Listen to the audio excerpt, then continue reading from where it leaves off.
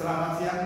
Kali ini akan saya jelaskan mengenai proses pemanasan berikutnya yaitu gas tungsten argoldin atau nama lainnya adalah tungsten gas atau TIG.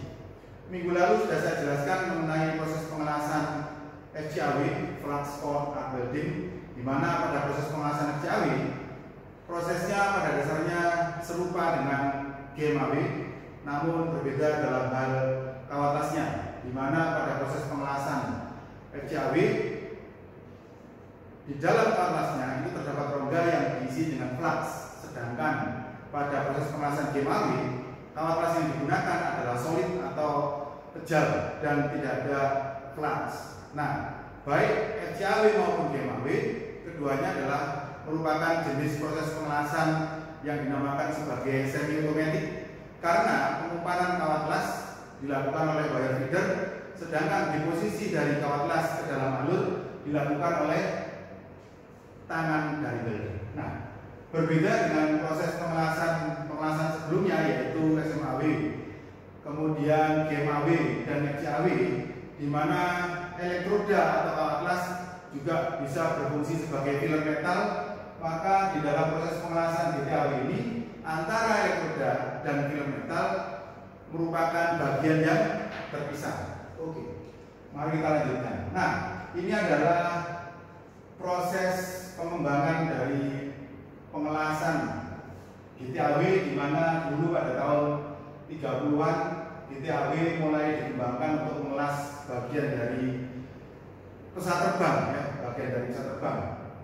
Nah, kemudian pada waktu itu helium digunakan sebagai gas pelindung yang dipakai untuk melindungi logam cair.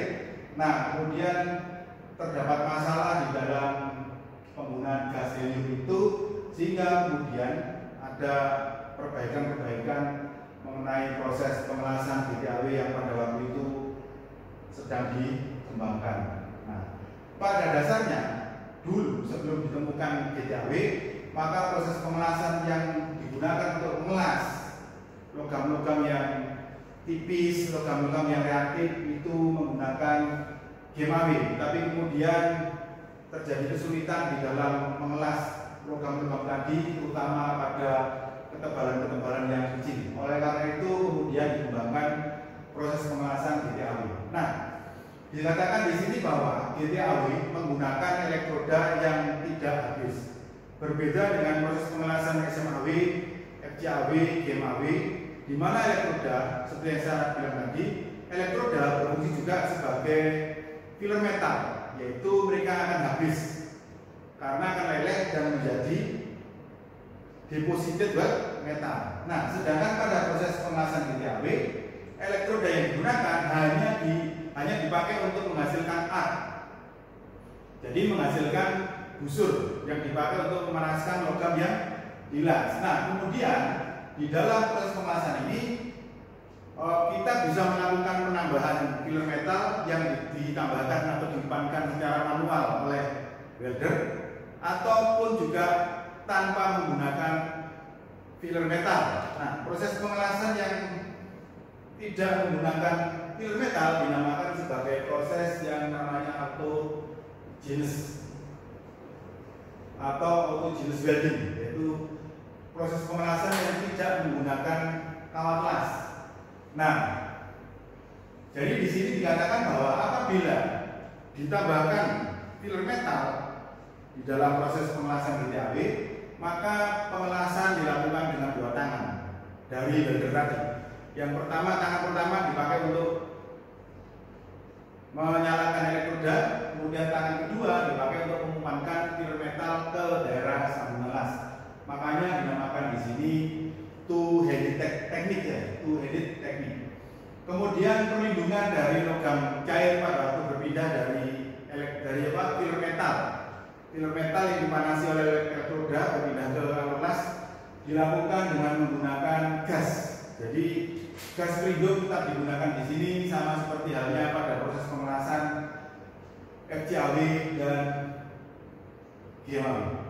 Kemudian karakteristik dari proses pengelasan ini adalah panas yang dihasilkan lajunya rendah, kemudian low temperature dan low cooling rate dari laju laju pendinginannya rendah. Oleh karena itu proses pengelasan ini ya sangat cocok dipakai untuk mengelas daerah root pada sambungan pipa root ya root pas pada sambungan pipa yang tipis seperti ini atau pipa yang seperti ini karena pada proses pengelasan BTAW input yang diberikan tidak terlalu tinggi dan panas yang diberikan ke sambungan las itu tidak lebar panasnya terpusat di satu daerah yaitu daerah di di mana uh, elektroda menghasilkan busur.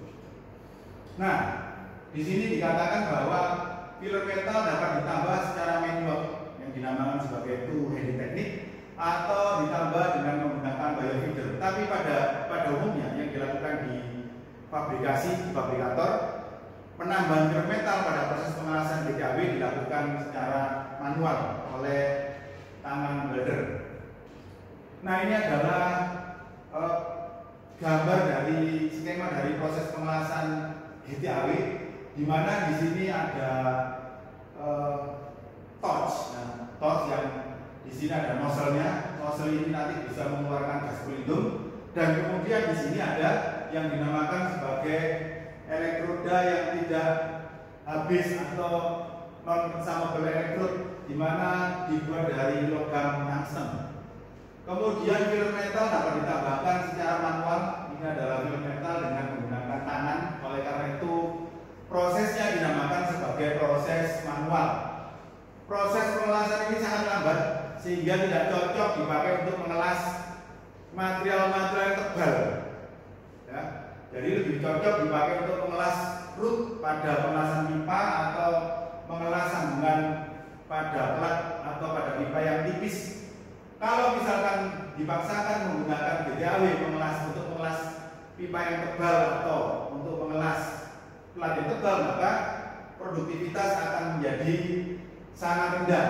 Kemudian di sini logam las yang dihasilkan tanpa slag karena tidak ada flux di sini.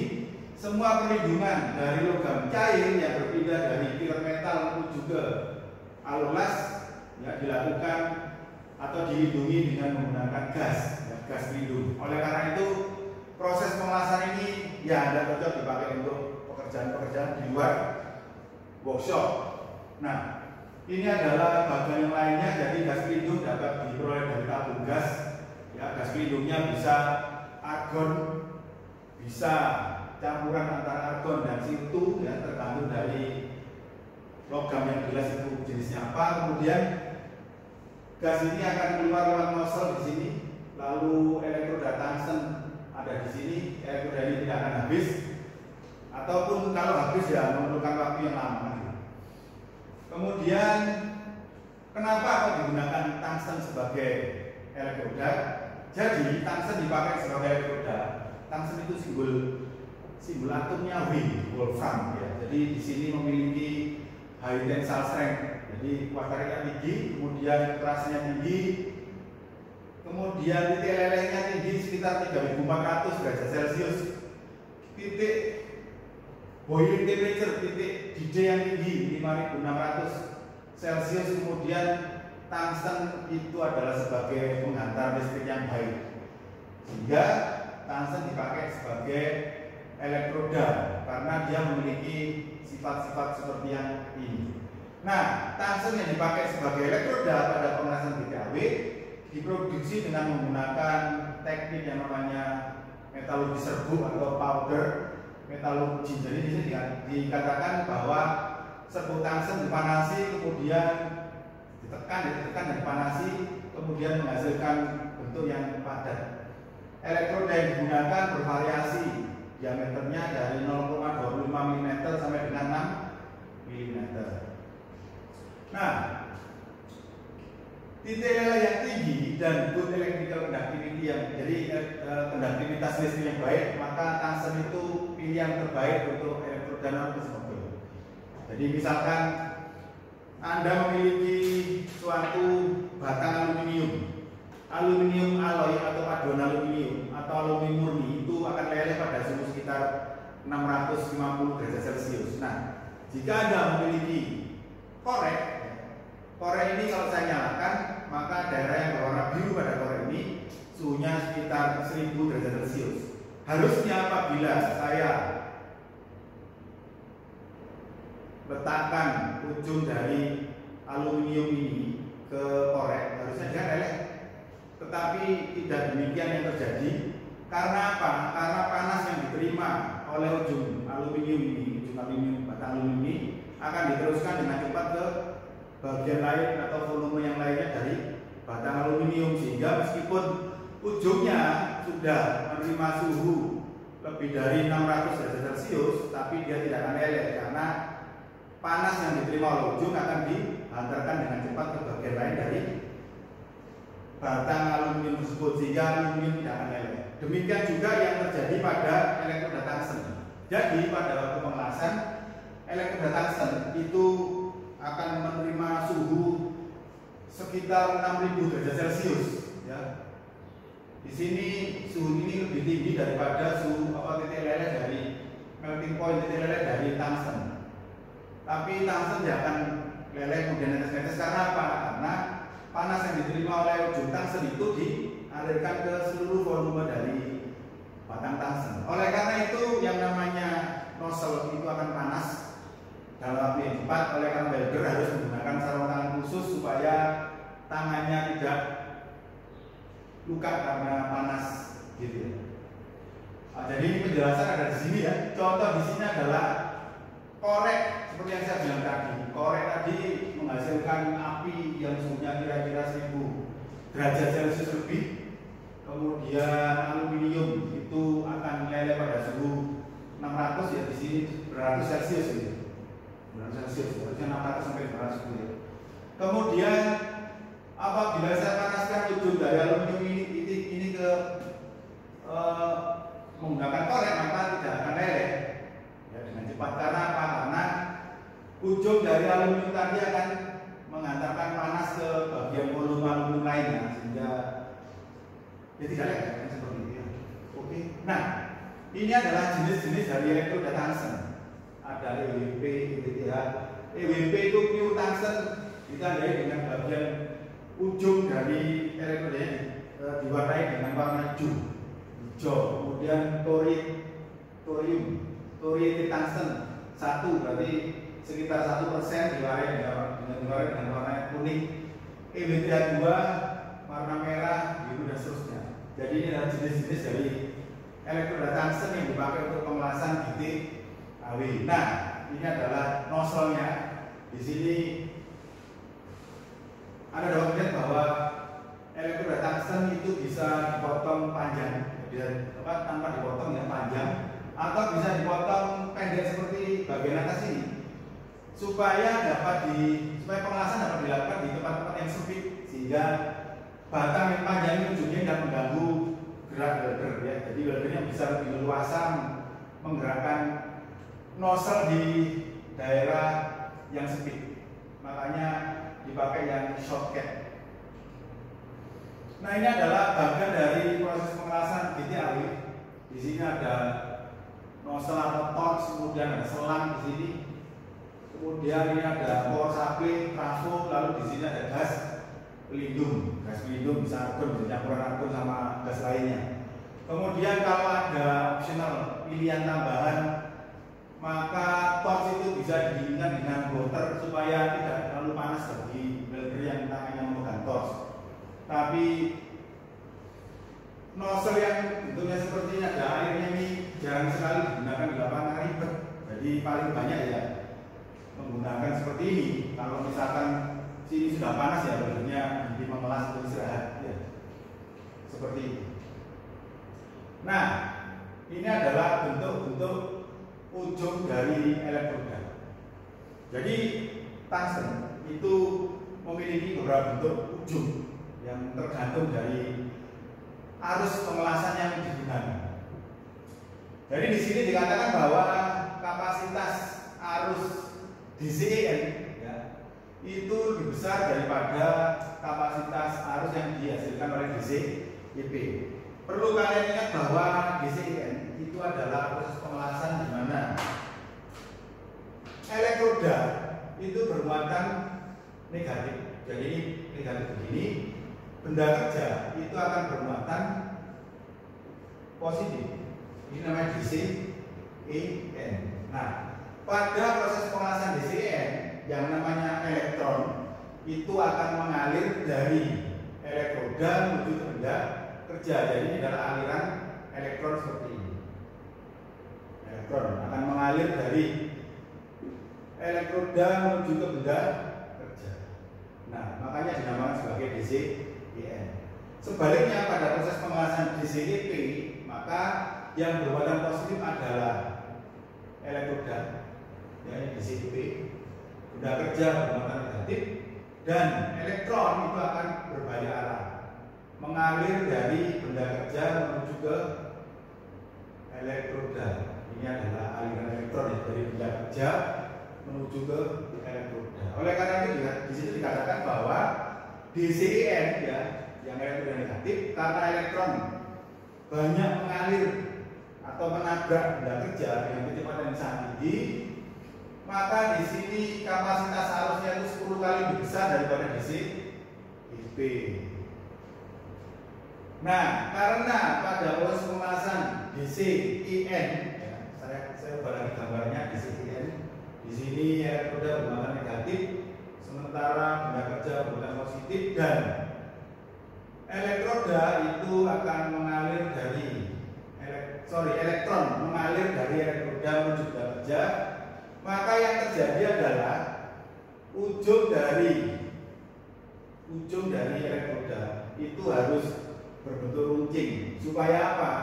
Supaya dapat memusatkan elektron ke daerah yang luasannya terbatas pada permukaan daerah yang jelas atau permukaan alur yang jelas. Jadi bentuk ujung elektroda yang lanjut seperti ini digunakan untuk proses pemanasan DC IN. Nah, sebaliknya karena pada proses pemanasan DCP DCP itu elektro, elektroda bermuatan positif sementara benda kerja bermuatan negatif dan elektron mengalir atau berpindah dari benda kerja ke elektroda maka secara otomatis elektroda ini akan ditubruk oleh elektron sehingga bentuk permukaan ujung dari elektroda yang bermuatan di CP itu selalu tumpul seperti pada gambar di tengah. Jadi gambar tengah ini menunjukkan bahwa pengelasan dilakukan dengan menggunakan arus DC IP di mana elektron menubruk ujung dari tungsten ini sehingga dia tumpul dengan sendirinya. Sedangkan kalau pada proses pengelasan menggunakan arus BCN maka welder itu harus menggerinda atau meruncingkan bagian ujung dari elektrodanya. Nah, kemudian pada proses pengelasan yang menggunakan arus AC maka bentuk ujung dari elektroda itu seperti bola ya, kayak gini. Nah, saya akan menyetelkan filmnya. Bisa diperhatikan di sini.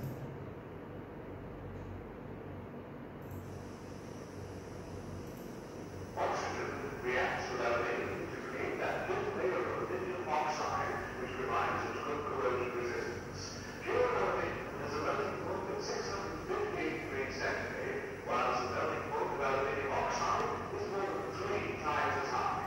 Nah, jadi dikatakan di sini ya di film ini bahwa aluminium itu memiliki aluminium logam itu memiliki nilai sekitar 600 gitu. Ini kan 1000 derajat Celcius. Nah, aluminium itu adalah logam yang reaktif sehingga kalau dia bereaksi dengan udara maka permukaannya ada oksidanya. Aluminium oksida. Aluminium oksida itu memiliki titik leleh yang jauh lebih tinggi daripada logam aluminiumnya yaitu hampir mendekati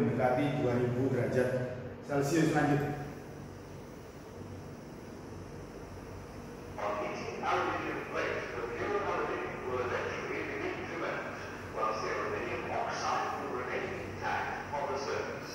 Nah, kalau kita memanaskan logam aluminium ya dengan menggunakan api atau menggunakan ak, maka aluminium itu akan leleh ya.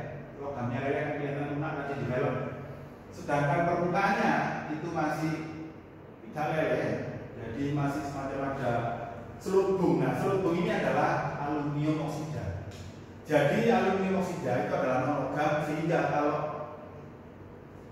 berada di permukaan logam yang reaktif dan logam dilas maka dia akan menghalangi proses pengelasan itu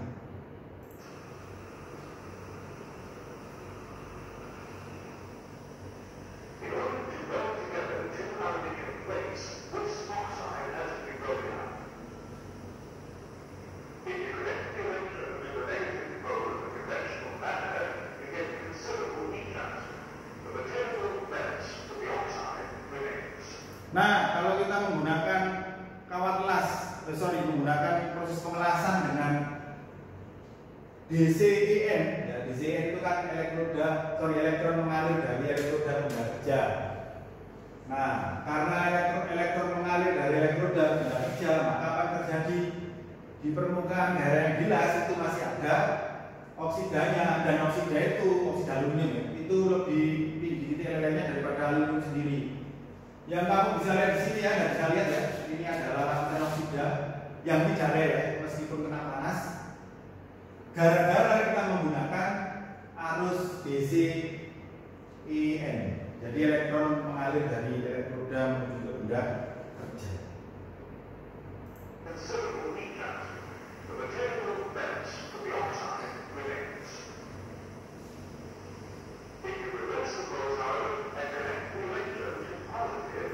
Nah, kalau polarity dibalik menjadi DCP, DCP itu adalah proses pengelasan di mana elektron elektroda bermuatan positif dan benda kerja bermuatan negatif, maka yang namanya elektron itu akan transfer dari benda kerja menuju ke elektroda. Jadi elektron itu akan transfer atau merambat atau bergerak dari benda kerja menuju ke elektroda sambil bergerak dari benda kerja menuju ke elektroda, elektron-elektron itu akan mengangkat lapisan oksida sehingga oksida di daerah tersebut akan hilang.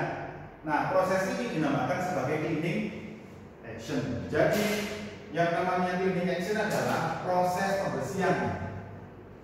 Ya, cleaning action. Proses pembersihan oksida dari lapisan permukaan logam yang reaktif yang ada oksidanya oleh elektron yang mengalir atau merambat atau berpindah dari benda kerja menuju ke elektroda. Itu namanya adalah cleaning action. Lanjut.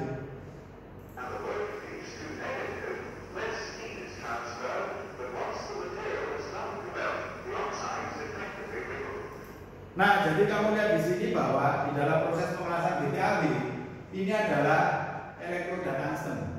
Kamu lihat juga bahwa di sini elektroda itu akan leleh kan gitu. Tetapi dia tidak sampai netes-netes ke dalam logam las, ke dalam alur las. Kenapa bisa gitu? Ya karena tungsten itu memiliki konduktivitas yang tinggi terhadap panas, sehingga panas yang dihasilkan di sini akan diserap oleh seluruh volume tungsten dan dialirkan ke seluruh nozzle atau seluruh torch sehingga lebih cepat terasa panas gitu. Jadi ini tidak leleh kemudian netes ke daerah logam las. Kalau ini netes ke daerah logam las, maka terdapat diskontinuitas las yang namanya tungsten inclusion. Ya masuknya tungsten ke daerah logam las. In practice, the positive connection is rarely used, since too much heat is generated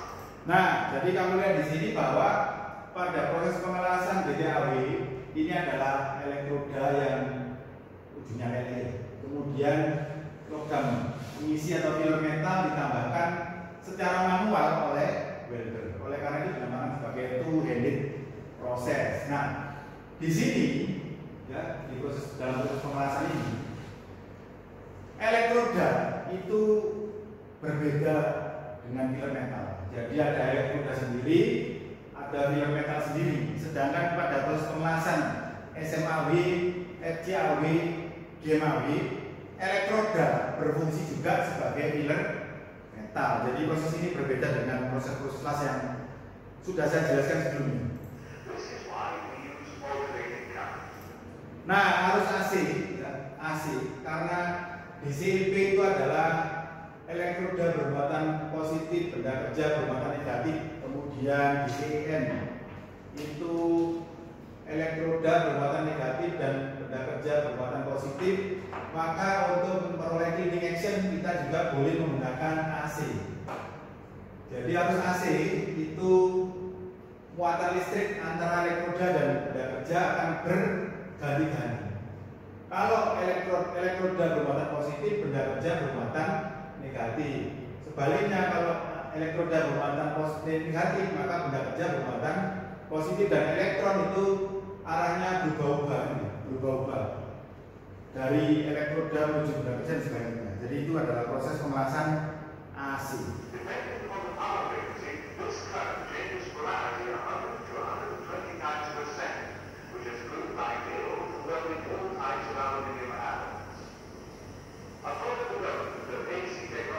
Oke,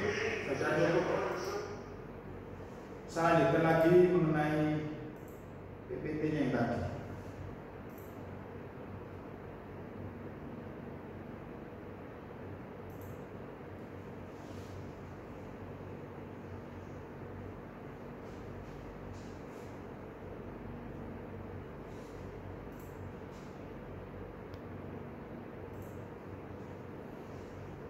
Oke. Jadi tadi sudah saya mengenai arus atau polaritas pengelasan yang berhubungan dengan ujung daripada elektroda. Jadi kalau kita menggunakan elektroda yang bermuatan negatif, maka kita perlu memusatkan elektron ke tempat yang sempit di alur las, maka welder itu akan meruncingkan ujung elektrodanya. Kalau pakai DC, IN elektronegatif. Kalau pakai DCP, secara otomatis karena elektron menubruk ujung dari elektroda maka elektrodanya jadi tumpul. Sedangkan AC karena elektron itu berpindah-pindah dari benda kerja ke elektroda sebaliknya ya kan? tergantung frekuensi dari arus listrik yang digunakan tergantung dari mesin laser. Makanya bentuk dari ujung elektroda itu seperti bola. Nah, dijelaskan di sini ya. Dengan menggunakan AC maka ujung ujung dari elektroda terkenal lebih banyak panas daripada DC IN karena DC IN elektronegatif maka elektron akan menambah dari elektroda menuju benda kerja sehingga panas yang dihasilkan lebih banyak di benda kerja. DCP memiliki heat input yang paling tinggi pada ujung elektroda karena dia ditubruk oleh elektron yang mengalir dari benda kerja menuju ke elek- elektroda. Oleh karena itu bentuk ujungnya tumpul seperti pada gambar di sini. Jadi saya jelaskan gambar ini ya. Di sebelah kiri sini adalah proses pemelasan menggunakan polarity DC IN. Jadi DCN itu elektroda bermuatan negatif, maka elektron akan mengalir dari elektroda menuju benda kerja.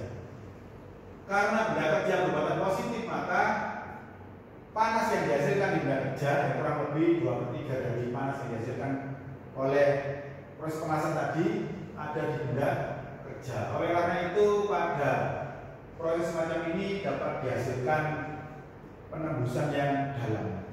Jadi pada proses pemanasan SMAW, ya, kalau kita balik ke SMAW, kalau kita menggunakan proses dengan arus las DC IN maka yang terjadi bukan penembusan dalam tapi melting rate ya laju pelelehan ke atas lebih banyak kalau pada pemanasan SMAW. Tapi kalau pada pemanasan GTAW karena elektron itu berasal dari elektroda menuju benda kerja maka yang terjadi adalah penembusan yang dalam karena apa? Di sini intensitas panas yang besar terjadi pada bis metal. Nah, kalau kita merubah polarity menjadi DC EP elektron positif seperti ini, maka elektron itu akan mengalir dari benda kerja menuju ke elektroda sehingga ujung elektroda tumpul sedangkan panas yang dihasilkan di elektroda ini di sini dua per tiga dari seluruh dari seluruh panas yang dihasilkan dalam proses kemasan. Nah kemudian kalau kita menggunakan AC karena 50-50 ya, jadi separuh cycle itu elektron merambat dari elektroda ke benda kerja, separuh cycle lainnya dari benda kerja ke elektroda maka bentuk dari ujung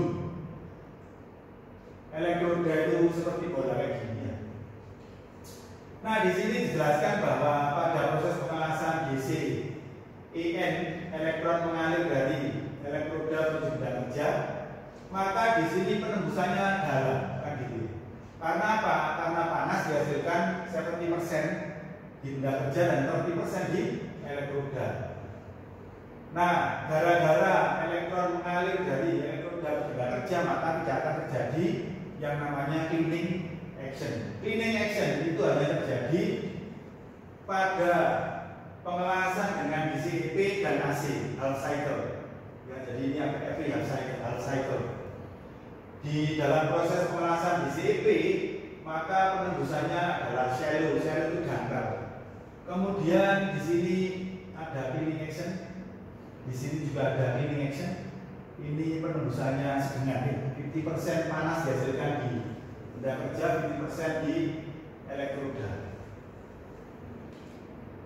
Nah ini adalah proses yang saya jelaskan tadi namanya adalah proses cleaning action di mana pada saat elektron bergerak dari benda kerja menuju ke elektroda maka yang terjadi adalah proses pengangkatan lapisan elektroda. Ini terjadi, eh sorry, proses pengangkatan lapisan oksigen ya, oksigen. Jadi ini adalah elektron yang mengalir dari benda kerja menuju ke elektroda, maka di sini ada yang namanya pengangkatan oksigen.